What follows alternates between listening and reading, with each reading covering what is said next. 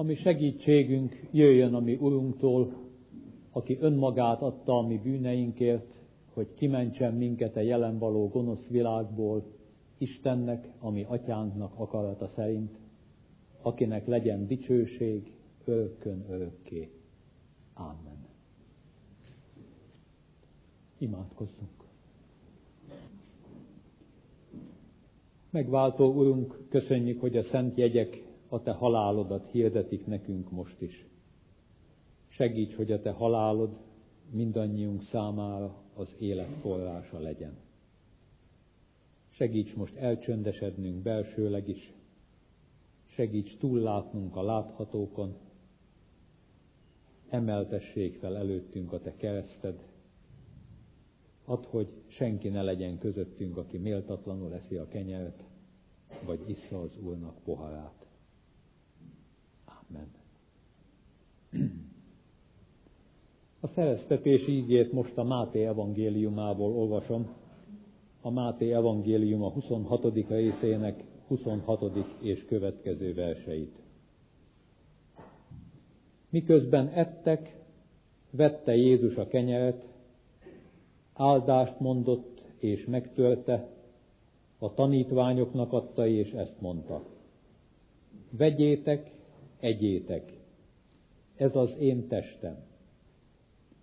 Azután vette a poharat, és hálát adott, nekik adta, és ezt mondta, igyatok ebből minnyájan, mert ez az én vérem, az új szövetség vére, amely sokakért kiontatik a bűnök bocsánatára.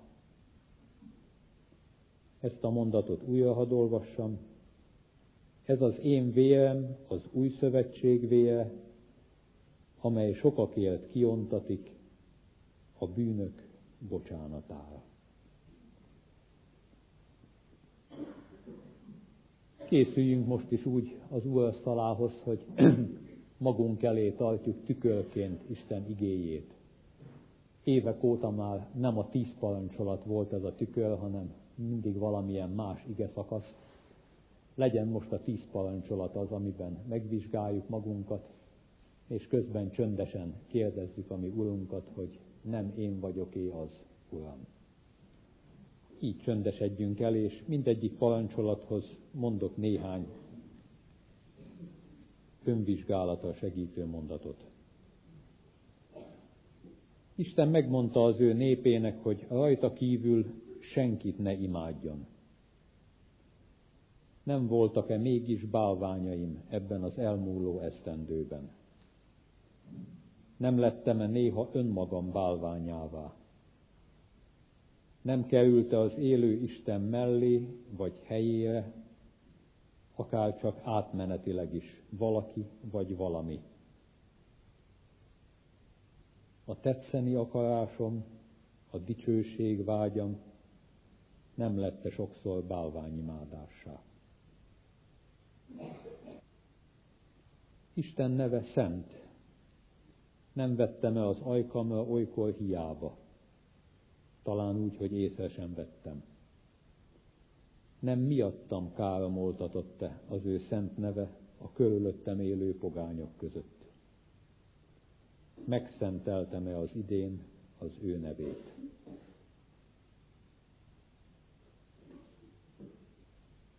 Megszenteltem-e a nyugalom napját, úgy, ahogy az Úr parancsolja. Nem vagyok ebben a kérdésben nagy vonalú? Vagy nem lettem törvényeskedő?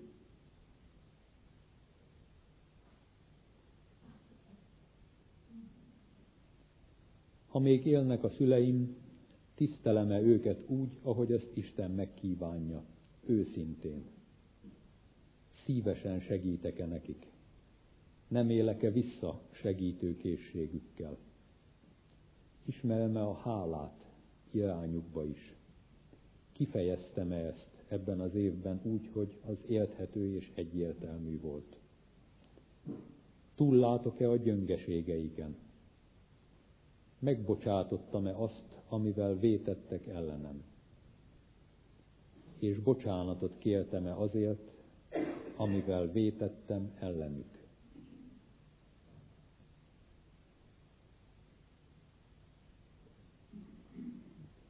Ölni sokféleképpen lehet. Jézus azt mondja, hogy haraggal is, szóval is, de lehet orvosi műszerekkel, agresszív gépkocsi vezetéssel. Nem lapulnak gyilkos indulatok a szívem mélyén. Lassan is ki tudjuk mi készíteni egymást. Nem megyek valakinek az idegeire.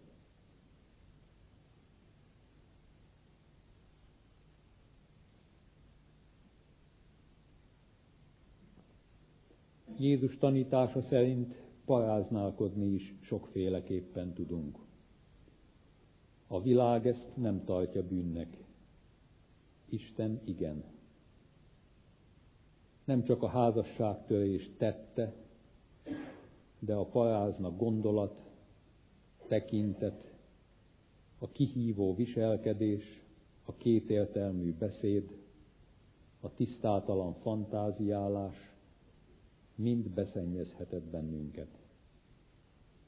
És a házasságtörés tette is. Hány házasságtörés terhel ennek az évnek a végén?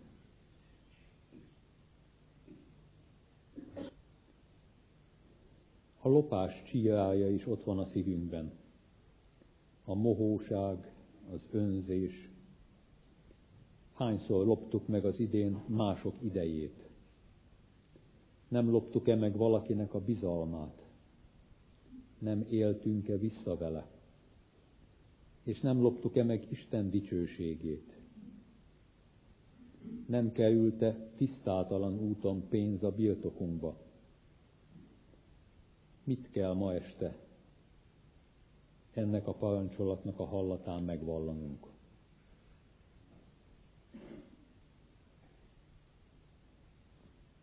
Ne tégy fele barátod ellen hamis tanúbizonyságot. Mennyit vétettünk a beszédben. Mi mindent mondtunk másokról.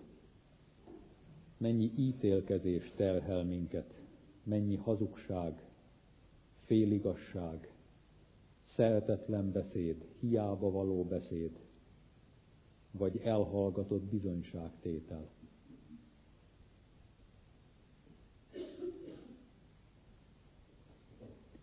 És végül Isten azt mondja, ne is kívánd. Milyen kívánságok motiválják a cselekedeteinket? Milyen kívánságok hajtanak bennünket? Nincs-e bennünk sokszor irigység, telhetetlenség? Rosszat kívánunk a versenytársunknak. Szabad kérni Isten lelkétől ihletett szent kívánságokat.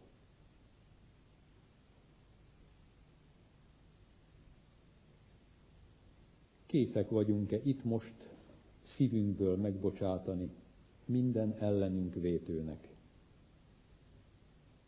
És készek vagyunk-e hittel kérni és elfogadni, komolyan venni Isten bocsánatát minden elkövetett bűnünkre.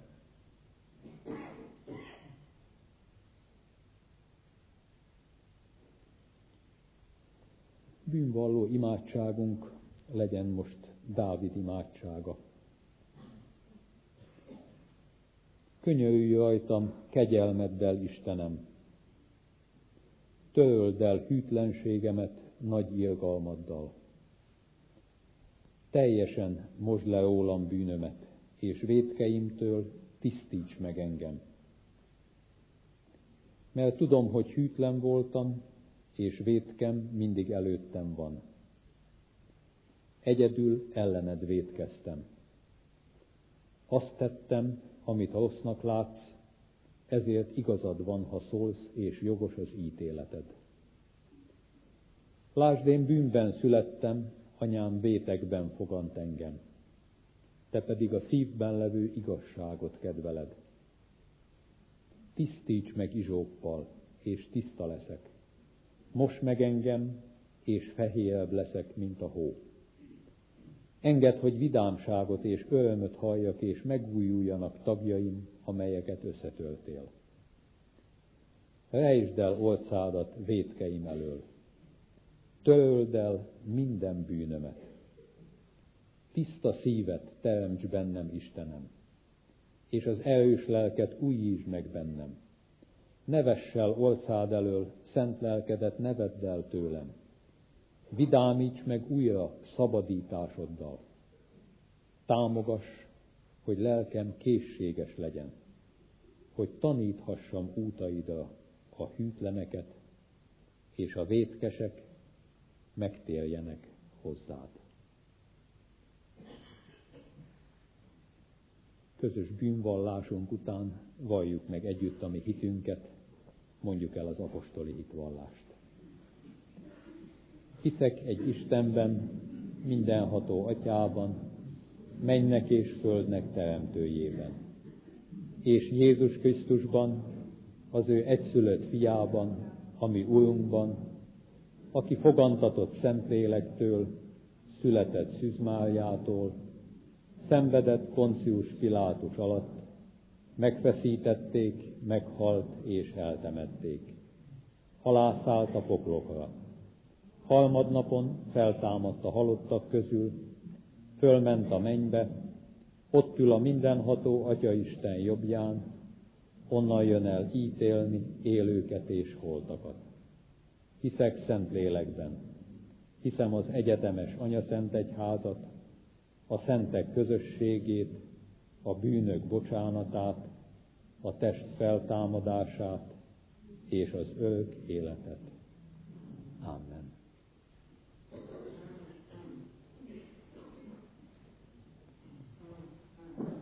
Isten bűnbocsátó kegyelmét Mikeás próféta szavaival hirdetem, kicsoda olyan Isten, mint te, aki megbocsátja a bűnt, és elengedi népe maradékának büntetését. Nem tartja meg haragját örökké, mert abban telik kedve, hogy kegyelmet ad.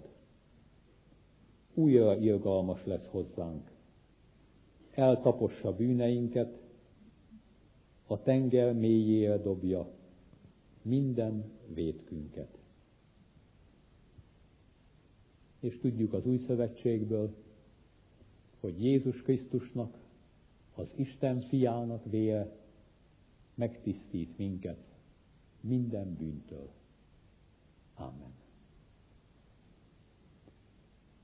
Akik így előkészültünk, járuljunk a Szent Asztalhoz, halázatos szívvel és a szokott rendben. Természetesen most sem kötelező mindenkinek urvacsorázni, nyugodtan maradjon a helyén. Aki nem akar idejönni, ő is velünk együtt részt vett az ige hallgatásában, a bűnvallásban, és komolyan veheti Isten bűnbocsátó kegyelmét. Mivel ilyenkor vendégek is vannak köztünk, csak azért mondom, hogy így szoktunk haladni az úrvacsora vétellel, itt kezdjük el, és majd a másik kísérlet fejezi be. Közben pedig most különösen is javasolom, hogy próbáljunk csöndesen imádkozni a mi Urunkhoz, akár elővehetjük az énekeskönyvet is, akár elolvashatjuk abból az 51. Zsoltárt, vagy vannak a végén alkalmas imádságok. Mindenképpen próbáljunk most oda borulni az ő színe elé, és csendben töltsük ezt a hátra levő időt.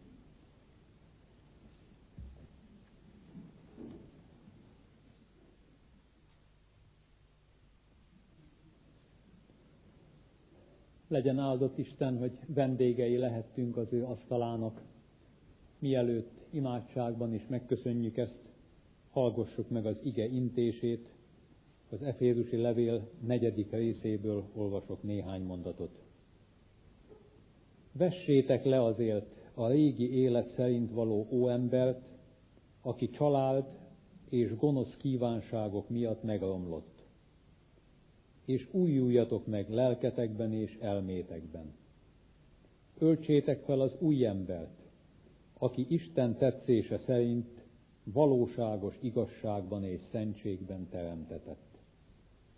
Ezért tehát vessétek le a hazugságot, és mondjatok igazat mindenki a fele barátjának, hiszen tagjai vagyunk egymásnak. Ha haragusztok is, ne védkezzetek, a nap ne menjen le a ti halagotokkal. Helyet se adjatok az öltöknek. Aki lopni szokott, többé ne lopjon, hanem inkább dolgozzék, és saját keze munkájával szerezze meg a javakat, hogy legyen mit adnia a szűkölködőknek. Semmiféle bomlasztó beszéd ne jöjjön ki a szátokon, hanem csak akkor szóljatok, ha az jó a szükséges építésre, hogy áldást hozzon azokra, akik hallják. És ne szomorítsátok meg az Isten szent lelkét, aki által el vagytok pecsételve a megváltás napjára. Minden keserűség, indulat, harag, kiabálás és istenkáromlás legyen távol tőletek, minden gonoszsággal együtt. Viszont legyetek egymáshoz jóságosak, ilgalmasak, bocsássatok meg egymásnak, ahogyan Isten is megbocsátott nektek a Krisztusban. Adjunk hálát Isten kegyelméért, imádkozzunk. Áldjad én lelkem az Urat, és egész bensőm az ő szent nevét. Áldjad én lelkem az Urat, és el ne felejtsd, mennyi jót tett veled.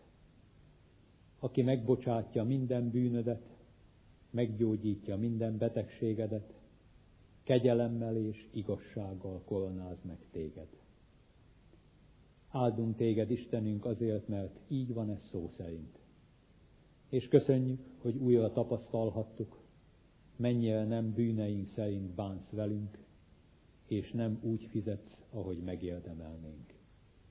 Köszönjük, hogy biztos hittel megalgathatjuk a Te ígéreted, hogy amilyen messze van napkelet a napnyugattól, olyan messzire veted el tőlünk a mi bűneinket. Szeretnénk hálából most újra felajánlani magunkat neked.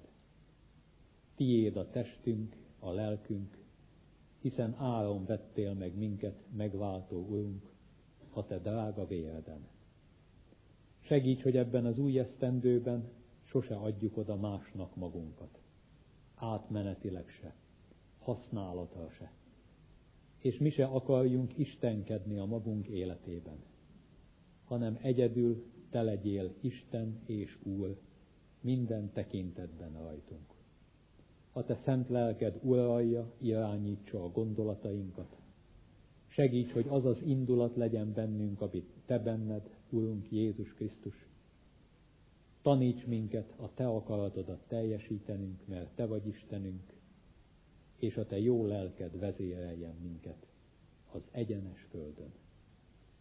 Amen. Mondjuk el az Úr Jézustól tanult imádságot. Mi, atyánk, aki a mennyekben vagy, szenteltessék meg a te neved. Jöjjön el a te országod, legyen meg a te akaratod, amint a mennyben, úgy a földön is. Mindennapi kenyerünket add meg nékünk ma, és bocsásd meg védkeinket, miképpen mi is megbocsátunk az ellenünk védkezőknek. És ne vigy minket kísértésbe, de szabadíts meg a gonosztól, mert tiéd az ország, a hatalom és a dicsőség mind örökké. Amen. A 32. Zsoltárban azt olvassuk, hogy boldog az, akinek vétke megbocsáttatott és bűne elfedeztetett, boldog ember az, akinek az Úr bűnt nem tulajdonít, és a lelkében családság nincsen. Ilyen és ezt a boldogságot hadd kívánjam mindenkinek, akivel együtt lehettünk most az Úrasztala vendégei. És ilyen boldog új esztendőt ajándékozzon nekünk a mi Úrunk. Az Isten pedig hatalmas arra, hogy rátok árassza minden kegyelmét, hogy mindenkor, minden jó téteményre bőségben legyetek. Legyen övé a dicsőség örökkön örökké. Amen.